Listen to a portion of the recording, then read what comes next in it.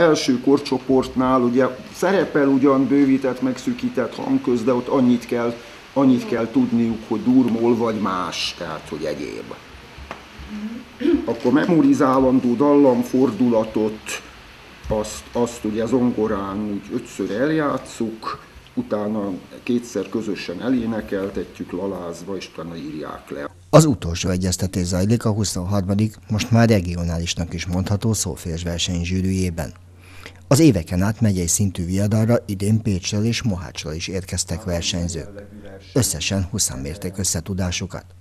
A bonyhádi verseny azért is jelentős, mert hasonló típusú versenyek szinte teljesen hiányoznak a palettáról, pedig mondják a szakemberek, a muzikalitás kiteljesítéséhez elengedhetetlen a szolfés.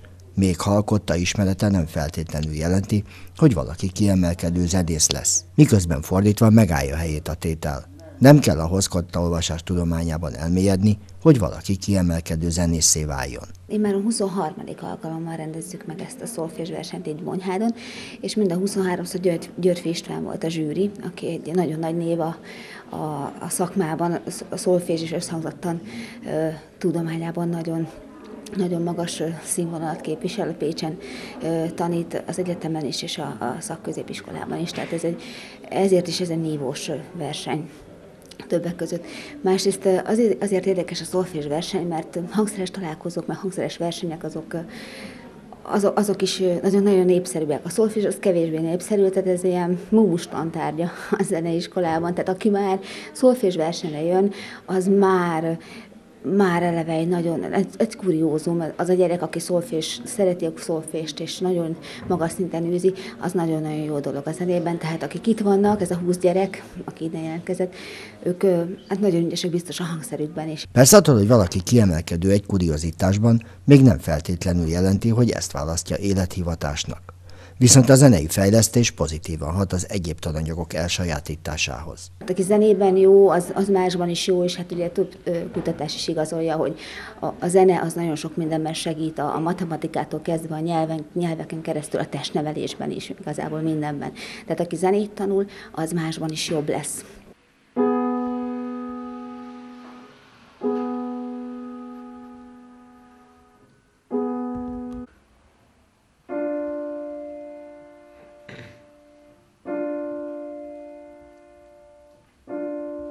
Vannak olyan ö, profi zenészek, akik szolfésban nem jók. Sőt, van olyan is, aki, aki nem tud kottát olvasni. De én azt mondom, hogy ha igazán jó zenész szeretne lenni valaki, akkor az elméleti alapok nélkül azt nem lehet igazán jól csinálni. Szőcs Ármin a Bonyhádi Zeneiskola tanulója. Ő muzsikostak készül, a Bartók Béla Zeneművészeti Középiskola felé kacsingat. Azt tartja, meg lehet találni el száraznak és unalmasnak mondott szolfisban is mindazt, ami érdekes. Persze a zenét jobban szeretem, tehát a cselló tanulás, meg a zenetanulást, de úgy annyira nem ö, veszem így kötelező szenvedésnek, mert úgy annyira nem rossz, de meg lennék nélküle is. Akkor is lehet szeretni, hogyha rossz tanár van, akkor is, hogyha jó, de az mindenképpen egy jó szempont, hogyha a tanár az jó.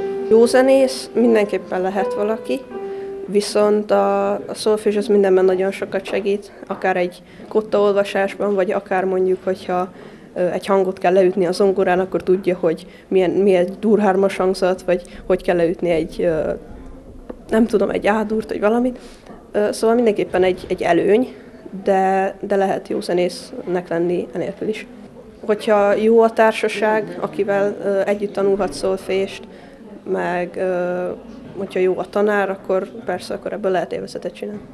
A Bonyhádi versenyen két fordulóban és öt korcsoportban mutatták meg tudásukat a gyerekek. A verseny abszolút győztese az a Lozsányi Julianna lett, aki tavaly is átélhette a győzelem örömét. A szexádi kislánya közeljövőben az országos versenyen mutathatja meg tudását.